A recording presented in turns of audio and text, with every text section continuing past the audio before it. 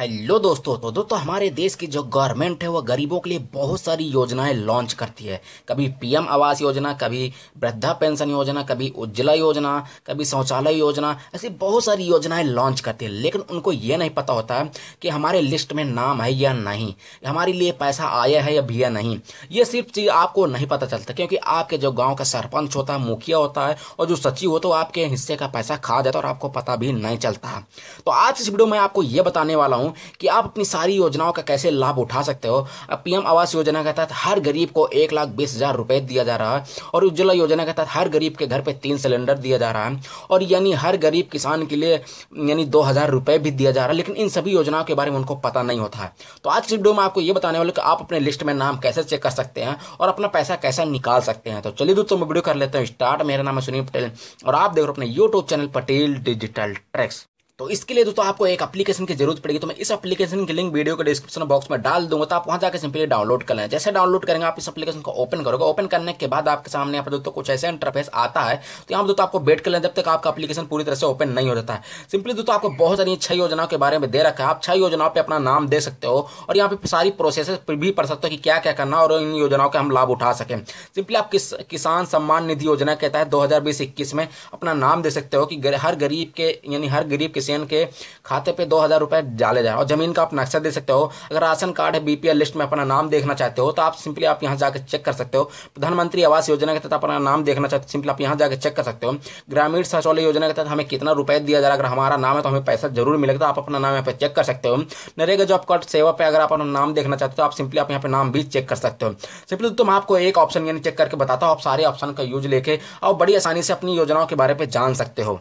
Simply तो जैसे आप प्रधानमंत्री आवास योजना के तहत हर गरीब के घर में दो हज़ार बीस इक्कीस में दो लाख बीस हज़ार रुपए दिया जा रहा है। आपको यानी नहीं पता कि कैसे फॉर्म भरना कैसे क्या करना है और मेरा लिस्ट में नाम है या नहीं तो अगर आप चेक करना चाहते हैं, सिंपली आपको प्रधानमंत्री आवास योजना पे क्लिक कर देना है।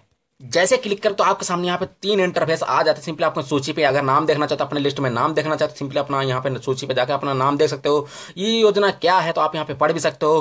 कैसे मिलेगा फ्री में घर तो आप यहाँ जाकर पढ़ सकते यानी पढ़ सकते हो। पीएम आवास योजना के साथ हर गरीब को यानी फ्री घर दिया जा रहा है। उसके अकाउंट में यानी दो लाख बीस हज़ार और किसी किसी को एक लाख बीस हज़ार रुपए भी दिया जा रहा है। सिंपली तो जैसे आप यानी योजना लिस्ट में अपना नाम देखना चाहते हो, सूची में नाम देखना चाहते हो सिंपली आपको यहाँ पे क्लिक कर देना है। सिंपली तो मैंने आपको बताई दिया सूची में कैसे नाम देखना है। पिछली वीडियो पे मैंने बताया सूची पे कैसे नाम देखना तो आप यहाँ जाके सूची पे नाम देख सकते हो कि मेरा इस योजना पे नाम है या नहीं। ये योजना क्या तो आप यहाँ पे क्लिक करके इस योजना के बारे में पढ़ सकते हो। कैसे मिलेगा फ्री में? अगर जैसे आप यहाँ पे क्लिक करोगे तो आपके सामने ऐसे खुल के आ जाता है। प्रधानमंत्री आवास योजना के तहत किन गरीब वर्गों को पैसे दिया जाएगा? सिंपली आप यहाँ पे लिखा हुआ है।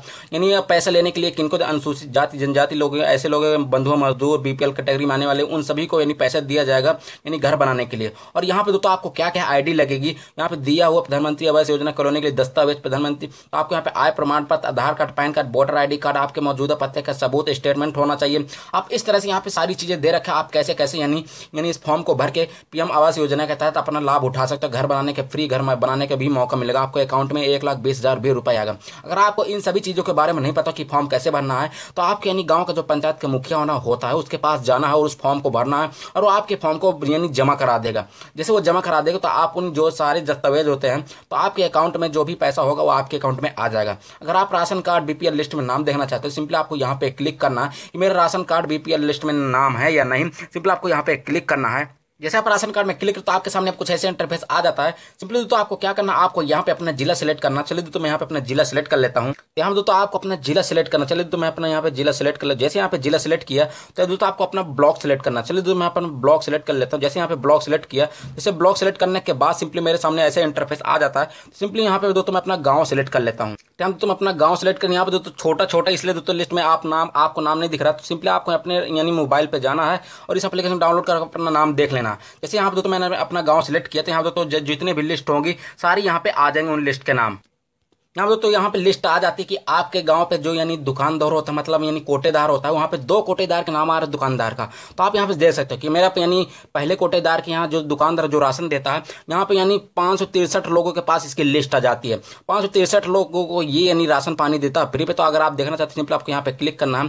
पाँच में पाँच में क्लिक करने के बाद उन सभी का नाम आ जाता है, आप अपना नाम दे सकते हो कि मेरे को कितना अनाज पानी मिल रहा है, कितना यूनिट मिल रहा है। आप यहाँ सारी चीज़ें जान सकते हो कि मेरे को कितना मिल रहा है। आपको कोई भी चूना नहीं लगा, क्योंकि दुकानदार और से जो होता है वो आपको चुना लगाता है, आपको यानी आपके हिस्से का भी राशन खा जाते हैं। आप इस तरह से बहुत सारी चीज़ें, बहुत सारी योजनाओं का लाभ उठा सकते हैं। अगर आप ग्रामीण शौचालय योजना के तहत अपनी लिस्ट में नाम देखना चाहते तो आप सिंपली यहाँ जाकर अपने लिस्ट में नाम देख सकते हो। बहुत सारी योजनाएँ, किसान सम्मान निधि की योजना के तहत कितने यानी गरीब किसानों को पैसे दिए जाते आप यहाँ पे लिस्ट में नाम जान सकते हो। दोस्तों, अगर आपको एप्लीकेशन अच्छा लगे, ये वीडियो अच्छी लगे तो कमेंट में नाइस ऐप ज़रूर लिखना। थैंक यू दोस्तों, हमारी इस वीडियो को देखने के लिए धन्यवाद आपका।